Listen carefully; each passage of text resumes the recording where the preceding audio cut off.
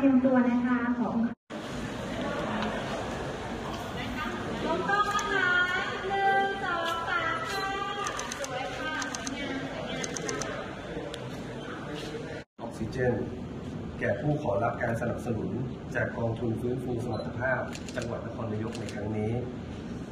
ในนามองค์การบริหารส่วนจังหวัดนครนายก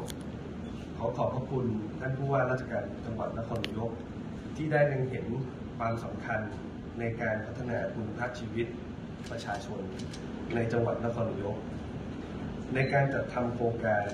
จัดซื้อเครื่องผลิตออกซิเจน ประจำปีงบประมาณพศ2567 และองค์การบริหารส่วนจังหวัดนครนายก ยังได้ดำเนินการจัดตั้งศูนย์ยืนคืนอุปกรณ์ทางการแพทย์จังหวัดนครนายกท่านทางปฏิบัติการท่านรองนายกองค์การจังหวัดจังหวัดนครนายกและผู้บริหาร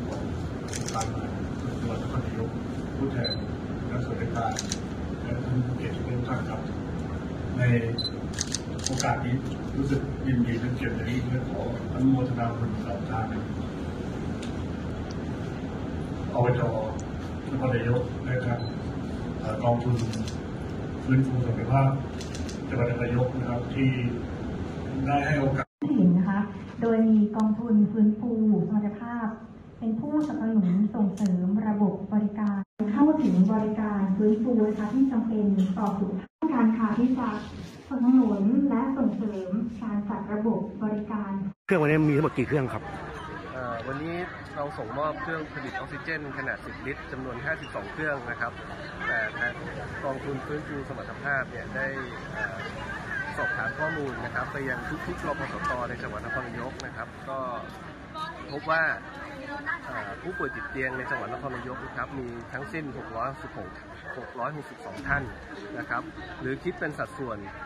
0.25%ของประชากรในจังหวัดนครนายกนะครับแต่ผู้ติดป่วยติดเตียงเนี่ยที่อยู่ในขั้นวิกฤตที่จำเป็นต้องใช้เครื่องผลิตออกซิเจนนะครับมีอยู่ประมาณ 100 ท่านนะครับกองทุนฟื้นฟูสมรรถภาพจังหวัดนครนายกนะครับเเราก็ได้อนุมัติจะซื้อไว้ 52 เครื่องนะครับ ส่วนที่เหลือ อีก 50 เครื่องนะครับองค์การบริหารส่วนจังหวัดนครนายกเราก็ได้ใช้งบประมาณขององค์การบริหารส่วนจังหวัดนครนายกไปเติมเต็มนะครับ ให้กับผู้ป่วยติดเตียงที่อยู่ในขั้นวิกฤตนะครับ จนครบทั้ง 102 ท่านครับ เห็นว่าจะมีการจัดตั้งศูนย์ยืมตอนนี้ถึงไหนแล้วครับอาตอนนี้จัดตั้งอยู่ที่